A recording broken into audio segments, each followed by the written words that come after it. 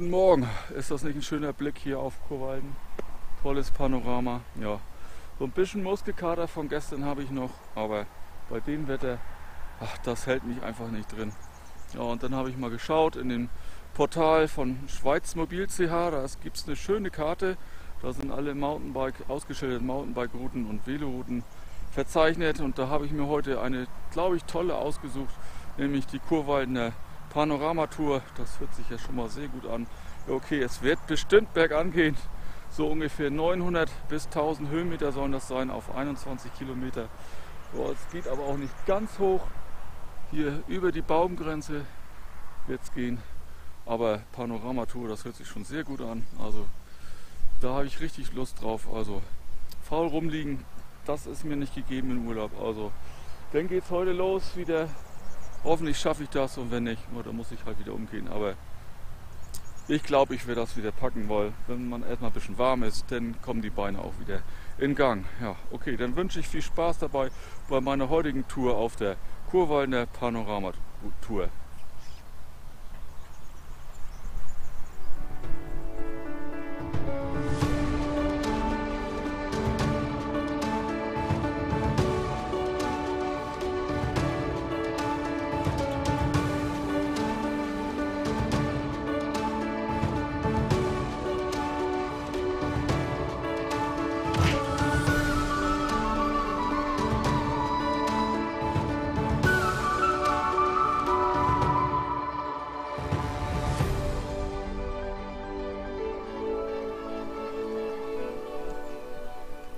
Hier ist es auch angeschlagen. Bei mir ist es die 606, die ich jetzt folgen werde. Eigentlich gut ausgeschildert. Ich hoffe, das geht so weiter.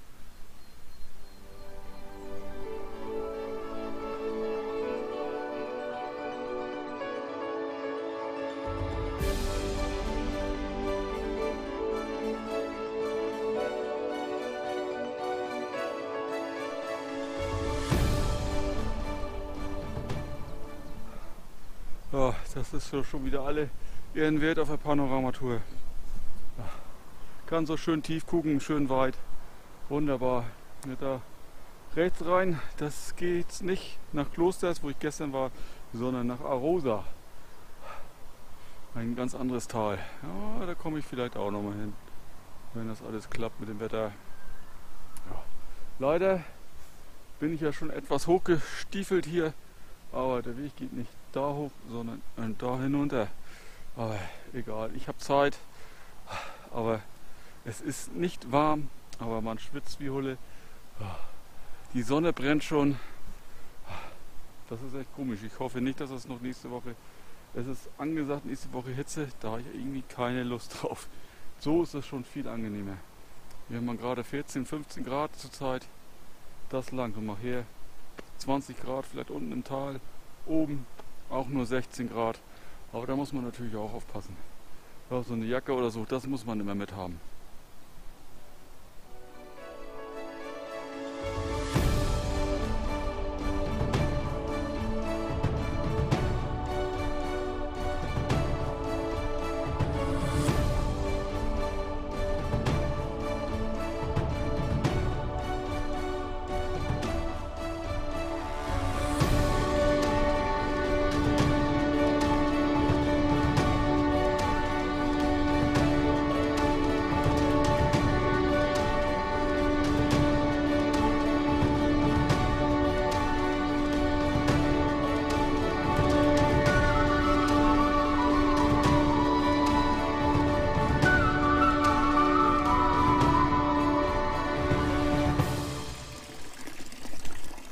Ist auch mal eine Getränkebar ohne alkoholische Getränke.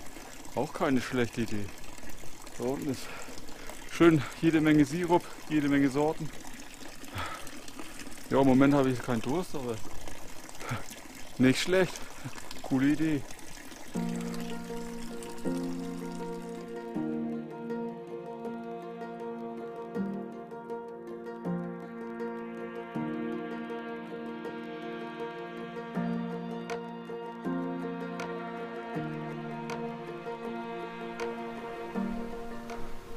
Ging jetzt erstmal runter und dann auch mal wieder bergauf. hier in der Baustelle vorbei. Ja, hier muss man mal kurz warten. Aber da sieht man, Straßenbau in der Schweiz ist nicht ganz einfach. Aber die haben schon einen recht schönen Arbeitsplatz hier. Was eine Aussicht. Wahnsinn. Ja, aber das heißt erstmal einen Moment warten, bis der leer ist.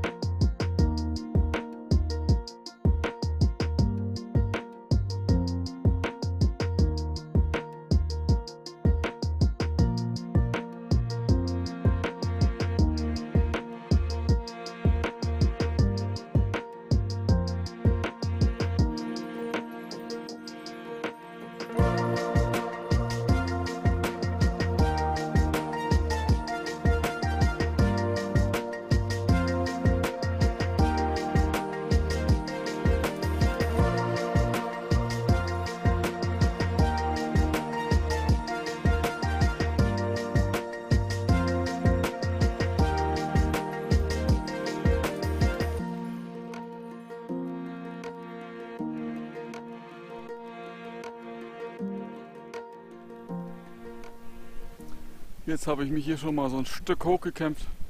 Auf 1500 Meter bin ich jetzt. Aber die Tour geht so, glaube ich, zwischen 17 und 1800 Meter. Also ein bisschen habe ich noch. Aber hier heißt echt nicht umsonst Panoramatour. Jetzt wieder ein toller Blick. Ah, einfach unfassbar schön. Ah, klasse. Aber weiter oben muss es ja dann noch schöner sein, oder? Also weiter.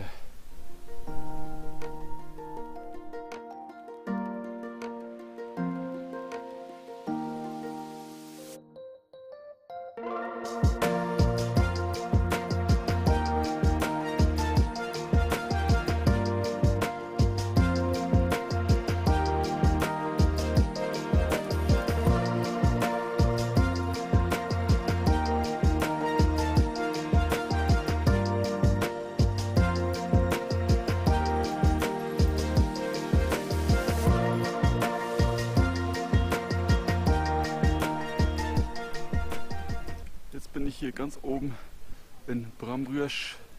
Ja, hier muss ich wohl mehr mit den Wanderern teilen, denn von Chur geht hier eine Seilbahn hoch. Da hinten ist die Station. Ja, da wird es ein bisschen voller. Ja, der Weg geht jetzt da hoch, aber ich werde mal zur Station fahren, zur Seilbahnstation. Vielleicht hat man dann noch mal einen schönen Blick ins Rheintal.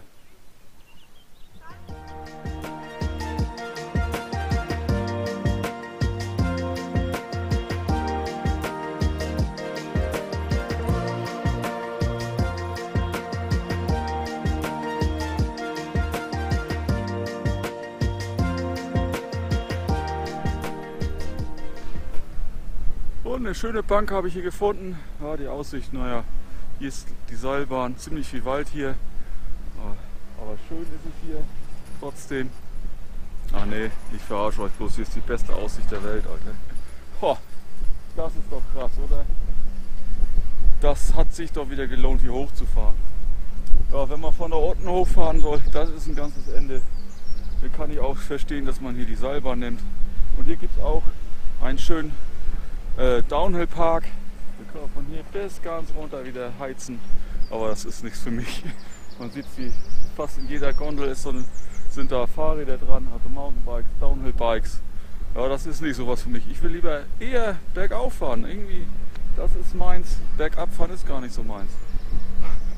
Aber echt krasse Aussicht, echt, das hat sich wieder gelohnt hier zu sein. Wahnsinn, muss ich da wieder zu sagen.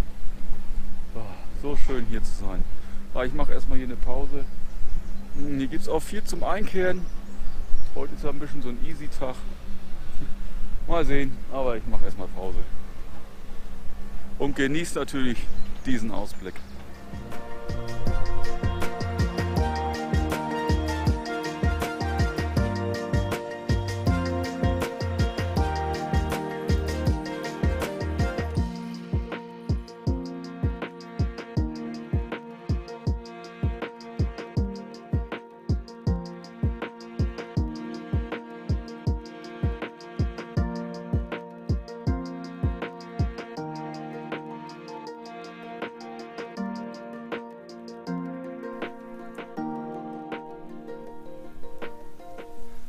Jetzt geht's weiter bergauf, weiter zu schönen Panoramen.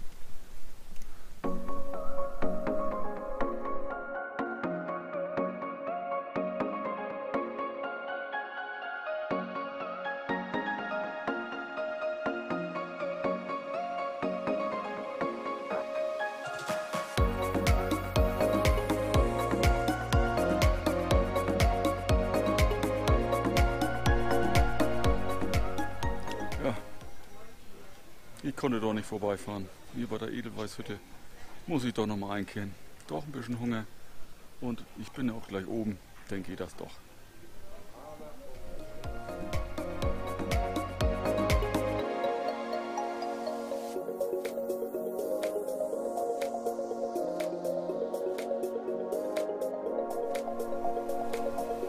Man gönnt sich ja sonst nichts.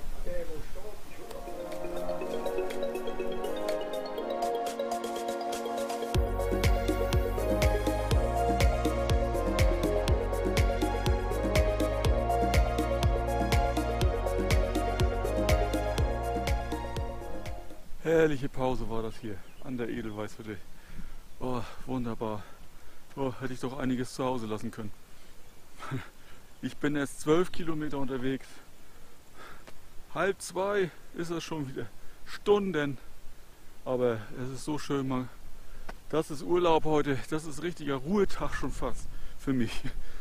Einfach nur genießen und auf sich wirken lassen. Ja, jetzt geht's glaube ich, noch so ein kleines Stück bergan. Ja, wird ein bisschen schwierig mit vollem Magen, aber wird schon gehen. Und dann mal sehen, was dann kommt. Hoffentlich viel Panorama.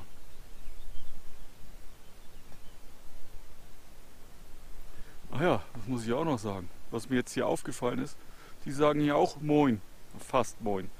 Einmal sagen sie Moi, das heißt einmal Moin oder Moins mit Z dran, das heißt Moin Moin.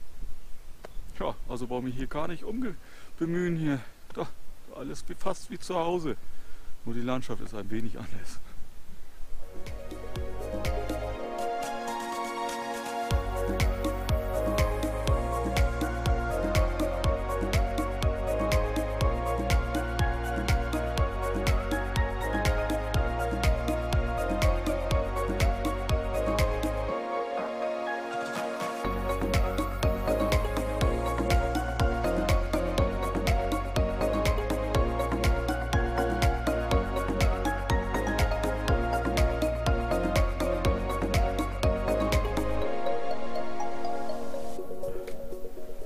Jetzt wird es ein bisschen schwierig. Es ist zum Single Trail geworden. Aber solche Stufen, da komme ich nicht hoch. Da muss ich rüber tragen. Aber immer noch schön, ab und zu mal tolle Aussichten. Wow.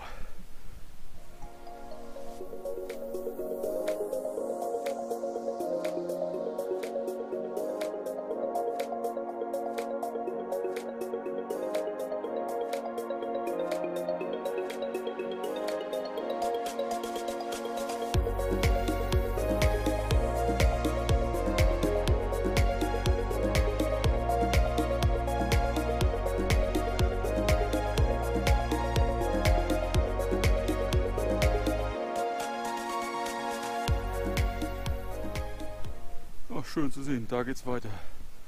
Aber ich merke schon, große Action ist bei mir nicht zu sehen bei dieser Tour, bei diesem Weg. Da sieht es eigentlich ganz gut aus, aber vor Wurzeln so runterspringen und so, ach, das, das ist nicht meins. Eigentlich ganz Sutsche, ich will nur ankommen.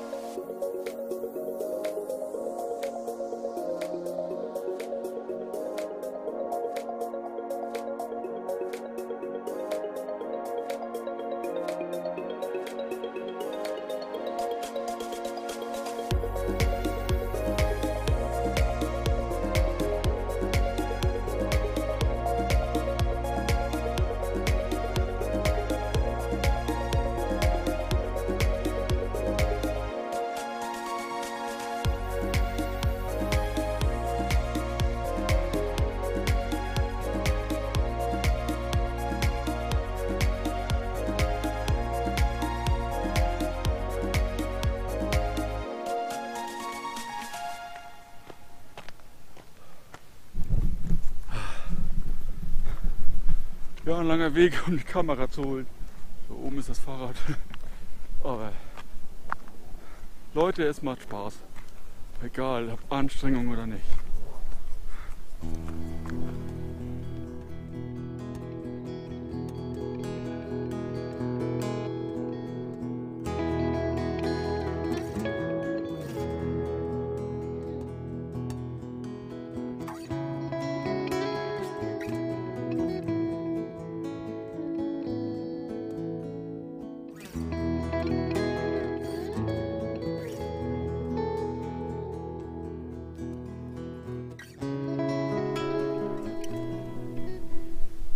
Bin ich hier an der Galtia, Galtialp. Ja, hier geht es auch den bergab, laut Schild. Aber Mann, war ein Panorama hier und jetzt sieht man so schön auf der anderen Seite ganz viele Wege, die man so noch abfahren kann. Ha, ist das schön. Ja, der Weg geht eigentlich auch noch weiter, aber ich glaube, da fahre ich nicht längs. Das sieht beide nach Single Trail aus, heute sowieso nicht. Naja, dann geht es bergab, aber das Panorama. Das muss ich noch mal kurz genießen hier.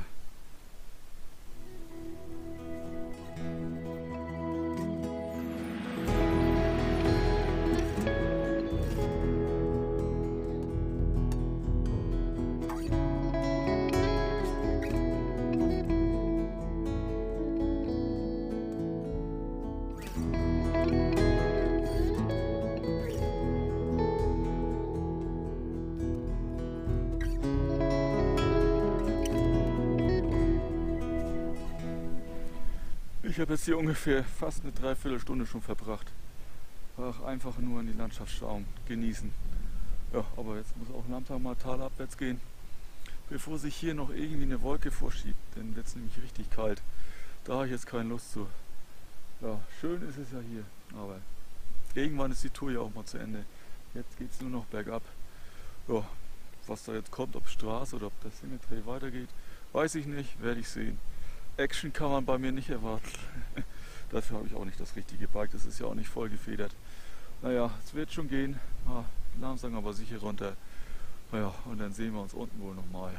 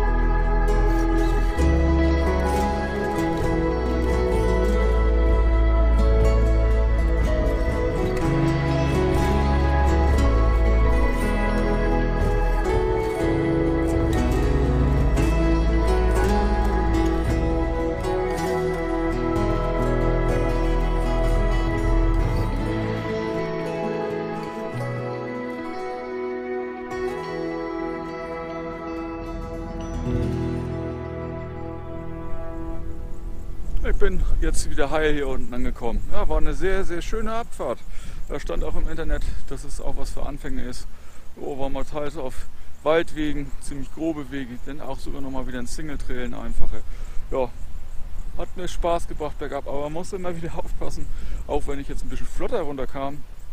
So wie bei uns im Norden an den Deichen gibt es ja auch so Gatter, ja, da ist mal so ein Draht rüber gespannt. Da muss man ja doch, doch mal ziemlich aufpassen, dass man da nicht so durchfährt. Zum Glück haben wir so ein Schild in der Mitte, dass man das gut sehen kann. Ja, aber die Tour heute, echt klasse. Für manche wäre das vielleicht schon eine richtig heftige Tour, aber ich habe mir heute, glaube ich, eher die Beine wieder frei gefahren, als dass ich mich heute hier großartig angestrengt habe. Ja, und wie das denn weitergeht, ja, morgen zum Beispiel, das weiß ich nicht. Es sollte eigentlich jetzt sogar schon langsam anfangen zu regnen oder es sogar mal ein Schauer sich entwickeln.